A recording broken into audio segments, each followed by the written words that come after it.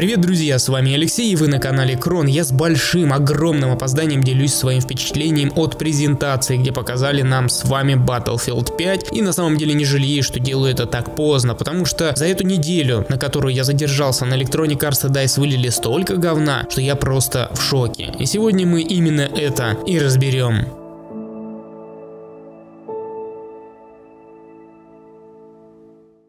Данный ролик будет содержать смешанное мнение, где я буду говорить непосредственно о презентации Battlefield 5, о трейлере и а также о фанатах, которые отреагировали на этот трейлер, ну, как-то очень уж грубо, очень уж предвзято. Как мне кажется, те фанаты, вот истинные фанаты Battlefield, которые себя вот считают, те несчастные, жалкие 50 тысяч онлайна, которые остались у BF1 на сегодняшний день, это вот прям отъявленные фанаты, они просто какие-то говноеды.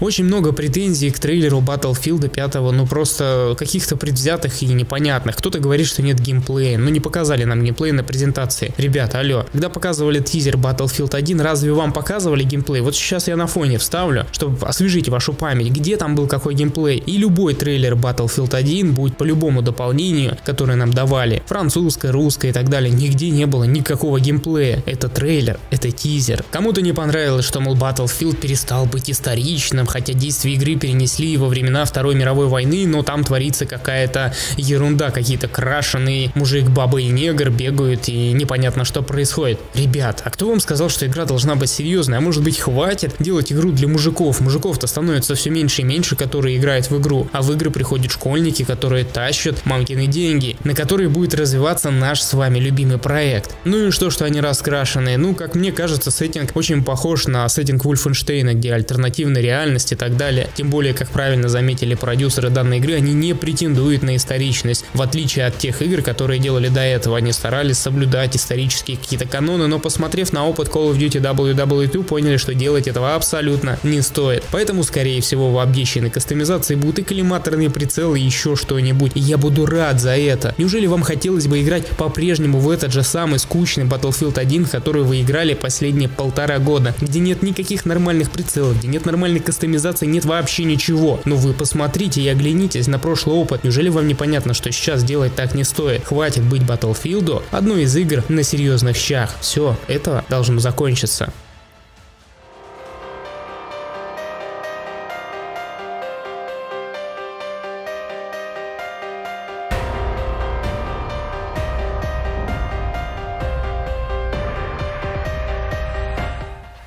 Кому-то не понравились краски, мол, все ярко мультяшное, как в Overwatch, да и бог с ним. Battlefield 1 настолько унылая и неинтересная игра была с этой точки зрения, что мне приходилось использовать цветокоррекцию. И когда вы, ну вы-то, конечно, мои подписчики смотрели ролики по Battlefield 1, вам просто замечательно нравилось то, что я делаю с картинкой. И многие просили меня скинуть настройки цветофикса, чтобы получить у себя такую картинку, потому что эта картинка радовала глаз, в отличие от стоковой картинки, которая была под какой-то непонятной белой пеленой. Неужели и это вам не нравится. Как мне кажется, это отличная новость, что они все-таки избавятся от всех этих серых тонов, опять же посмотрев на опыт Call of Duty. Той же WW2, той же Black Ops 3 и вновь анонсирована Black Ops 4. Краски это то, что хочется нам видеть в игре на мониторе. Серость жизни нам хватает в жизни, а в играх нам хочется развлекаться. Если вам нужны какие-то реалистичные цвета, то идите в Арму 3, пожалуйста, играйте. Фанаты Battlefield, идите в Арму 3. Те, кто называет себя прям ярым поклонником. Без без вас, как мне кажется, станет легче. Игре также приписывают какие-то российские феминистические наклонности, мол, какого черта опять у нас главный персонаж женщина и рядом еще крашеный негр. Да и бог с ним. Я сколько раз вам говорил, хотя вы меня называете жутким расистом, которым я не являюсь. Просто не надо делать это так навязчиво, и как мне кажется, в Battlefield 5 в будущем это не делают так навязчиво, как в Battlefield 1. Ведь есть хорошие примеры, в той же колде все это присутствует, но почему-то никого от этого не бомбит. И те, кто считает меня каким-то расистом и феминистом, господи, я обожаю фильмы Blade, где главный персонаж персонаж является чернокожий. И там это не выглядит как-то по-российски, потому что там это все смотрится органично. И наконец-то в Battlefield 5 они добрались именно до той самой золотой середины. Единственное, что, конечно, меня прикольнуло, мол, какого черта в самом начале англичанка женщина убивает русского. Ну, потому что в трейлере четко слышно, что он кричит по-русски, кидая гранату, и она его убивает. Когда это Англия воевала с советами. Ну, опять же, возвращаясь к тому, что игра не должна быть историчной, возможно, там будет какая-то альтернативная история. Посмотрим, поживем себе мы видим к самому выходу. Ну и также меня улыбнуло, что у женщины протез. И сразу я думаю, ну первое, что у меня назрело, какая-то шутка, странно, что никто до этого не додумался, что, мол, Battlefield 5 можно будет играть и с такими клешенями вместо рук. И как мне кажется, было бы вообще смешно, если бы разработчики поддержали эту идею и женский персонаж сделали бы каким-нибудь э, более простым в освоении, чтобы реально это был бы какой-нибудь нубо персонаж э, с клешнями вместо рук. Ну, в общем, поддержали как-то эту тему.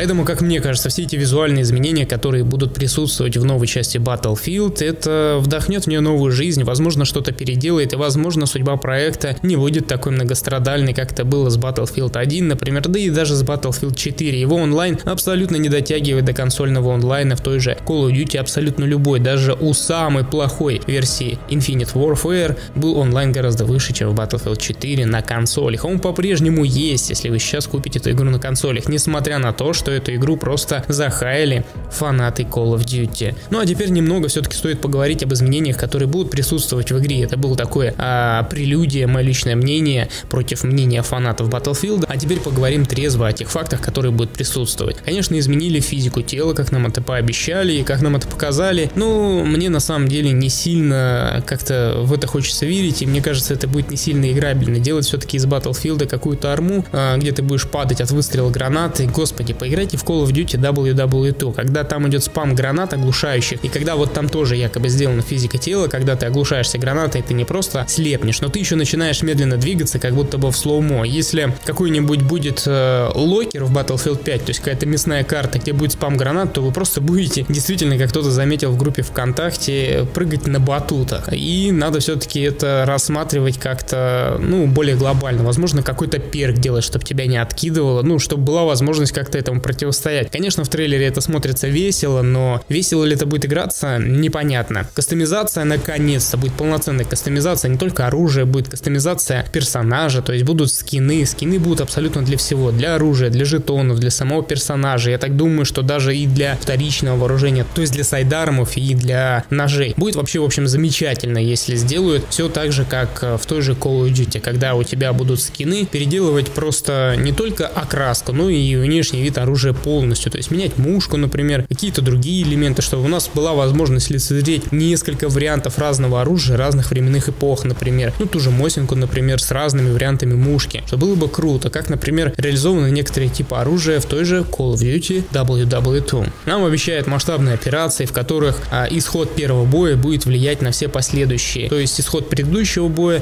будет влиять на все последующие бои, которые будут проходить. Если мы что-то сделали, выполнили какое-то задание, то, соответственно, противник будет получать либо преимущество, если мы этого не сделали, либо получать наоборот ослабление, если мы выполнили какое-то задание. Пример там простой, разрушает артиллерию в первой миссии, соответственно, в следующей миссии враг уже не имеет поддержки с воздуха. Ну и что-то, в общем, в этом роде. Обещают нам строительство баз, то есть мы можем а, делать какие-то ограждения, я так понимаю, но это опять же, если вернуться к той же самой Call of Duty WW2 в режиме война, где вы можете строить заграждения, а противник может их разрушать, собирать, вы можете опять ремонтировать. Возможно, это было и раньше в других сериях Battlefield, но ну, что-то я не припоминаю, хотя играл с 1942, но я был тогда маленький ребенок, может быть, что-то и забыл. Но последние острые и свежие впечатления от такого рода геймплея у меня остались от Call of Duty WW2 в режиме войны. Если они перенимают эту хорошую идею оттуда и делают у себя в игре, то это, в принципе, замечательно. Обещает нам вновь, кстати, кооператив, который был в Battlefield 3 офигенный кооператив. Мы, если помните, где-то давно подписаны на меня, меня с Анатолием Пархилия проходили этот кооператив и даже записывали выкладывали его на канал в режиме сплитскрина. Если кооператив будет и в Battlefield 5, будет замечательно. Основная сюжетная кампания, как мне кажется, бессмысленна и вкладывать в нее деньги совсем неразумно. Несмотря на то, что фанаты ванят сейчас на то, что в Black Ops 4 не будет кооператива, скорее всего не будет, там будут какие-то отдельные сюжетные миссии. Тем не менее, кооператив в таких играх, как телеги Пятое Колесо. Да, кто-то в него поиграет, но по сути, как только люди проходят кооператив, они бегом в мультиплеер. Я, например, в Battlefield 1, в Battlefield 4 и в Battlefield 3 не прошел кампанию до конца, потому что она мне была неинтересна первый час, да-да, побегаешь на картинку, посмотришь, слюни попускаешь, а потом идешь в сражение для того, чтобы там встречаться с живыми людьми. Стрелять по ботам становится, ну, абсолютно уже в наше время, в 2018 году, неинтересно. Также нам сказали, что премиум пасса не будет, и все дополнения, все карты станут доступны нам в последующем абсолютно бесплатно. И зато будут кейсы. Но тут, как мне кажется, DICE все-таки нашли золотую середину, потому что игра, во-первых, стоит дороже. Если Battlefield 1 стоил 2500 рублей, если мне не изменяет память на старте и по предзаказу, то Battlefield 5 уже стоит 3000 рублей, но при этом обещают кейсы или с э, лутбоксы, не знаю, как они будут там называться, ящики, которые будут содержать только визуальный контент, скины, в общем, будут запрятаны туда. И хорошо бы, если бы эти все-таки кейсы или ящики фармились точно так же, как в Call of Duty WW2 за выполнение каких-нибудь дейликов, викликов и прочих каких-нибудь заданий, потому что если это будет только за деньги или реализовано так же, как в Battlefield 1, когда вы будете крафтить какие-то запчасти и потом с них покупать кейсы, ну это будет очень дико а, трудно и очень интересно, потому что в Battlefield 1, чтобы настрелять на один ящик, нужно поиграть примерно 5-6 часов как минимум интенсивной игры, а в случае с Call of Duty можно запустить несколько заданий параллельно, то есть э, дейлики, виклики и общее какое-нибудь задание, которое не ограничено по времени и параллельно их выполнять. И спустя 5-6 часов вы можете себе нафармить порядка 5-6 кейсов. И там, как мне кажется, это очень хорошо сбалансировано. Я наиграл очень много и ни одного ящика за реальное бабло не покупал. Посмотрим, на самом деле еще рано что-то говорить и делать какие-то выводы на этот счет. Нам также обещают события или потасовки, а я их так лучше назову, потому что те, кто играл в Overwatch, вам это ближе. То есть будут какие-то а, ивенты, ограниченные по времени, из которых мы можем выбивать а, контент для своих персонажей. Опять же, это будут скины, док-таги, а, скины для оружия, для непосредственно для самого персонажа, карты. Но мне непонятно, как будут карты выбиваться, или они просто будут доступны после а, прохождения ивента. И непонятно, можно ли будет вернуться к этому ивенту, или он будет закрыт точно так же, как в Overwatch. Интересная идея, если ее перенесут в том же виде, что она есть сейчас в Overwatch, думаю, будет очень интересно и популярно, и очень долго будет поддерживать интерес аудитории. Стрельба, стрельба, наконец-то то, о чем я говорил, стрельба наконец-то станет нормальной. То есть она не будет какой-то рандомизированной и даже не будет похожа на стрельбу, как в Battlefield 3, а скорее будет похожа на стрельбу из Bad Company 1 и Bad Company 2 а, с помощью Counter-Strike. В 2018 году, видимо, стало модно делать скилл-зависимые шутеры. Буквально совсем полторы недели назад нам показали Black Ops 4, где те тоже Activision сказали о том, что их стрельба будет иметь определенный паттерн, и нам нужно будет его контролировать, и будет будем, соответственно, учиться спрей-контролу точно так же, как и кейсеры. И, соответственно, сейчас нам говорят, что в Battlefield 5 будет точно такая же фишка. Никакого рандома, исключительно одинаковый паттерн, ну, соответственно, для одного типа оружия, а между оружием он, соответственно, будет отличаться. И атачменты, которые будут действительно влиять на технические характеристики оружия. Я очень на это надеюсь. Что же касается в общем мультиплеера, общее впечатление по трейлеру и о том, что нам сказали на презентации, как мне кажется, Siege все-таки повлиял на рынок в целом. Так же, как э, выход серии Souls, Demon Souls, Dark Souls повлиял на рынок слэшеров, и, как вы видите, God of War 2018 года очень сильно похож на эту серию, то и Siege а, внес свою лепту в игровую индустрию. Call of Duty Black Ops 4 очень сильно похож на Siege, то есть там кооператив будет на пятерых человек, где эти пять человек будут очень сильно связаны между собой и будет такая ролевая игра. Overwatch, который тоже имеет принцип распределения ролей. И теперь Battlefield 5 тоже будет будет сосредоточен именно на ролев. У каждого персонажа будет своя задача, и он будет по-своему необходим своему отряду, и играть по-другому у вас не получится. У вас будет малое количество патронов, вам будет необходимо получать эти патроны у товарища по команде. У вас, я так понял, не будет больше ускоренной регенерации, как она есть, например, в Battlefield 4 и в Battlefield 3. Вы не сможете полностью выхилить себя сами. Но это спорный момент, как мне кажется. Все-таки медик должен себя-то лечить однозначно. И поэтому DICE и Electronic Arts все больше настаивают на командном командном взаимодействии. Насколько это правильно, непосредственно поживем увидим. Мне, например, как человеку-одиночке, не особо интересно играть в такого рода игры. Именно поэтому я не играю в Siege, потому что без нормального отряда играть в эти игры невозможно. Почему я забросил Overwatch? Потому что там очень много руинеров, и нормально поиграть с нормальным тиммейтом у вас редко когда получается. И если Battlefield 5 все-таки не будет соблюдать эту золотую середину, эту грань, перейдет непосредственно на сторону именно абсолютно командного взаимодействия, то тогда ему придется удаляться в киберспорт. Иначе Никак. Главное, чтобы у Electronic Arts и у DICE все получилось. Ну а на этом у меня все. Спасибо, что выслушали мои мысли. Как-то это сумбурно, но потому что это лайв-запись. Повторяюсь, если вы не заметили эту плашку в самом начале. И в конце посмотрите трейлер Battlefield 5, который сварганил я. Потому что основной и оригинальный трейлер все-таки как-то немного скучноват, в отличие от трейлера Battlefield 1. Но с точки зрения визуального контента он мне нравится.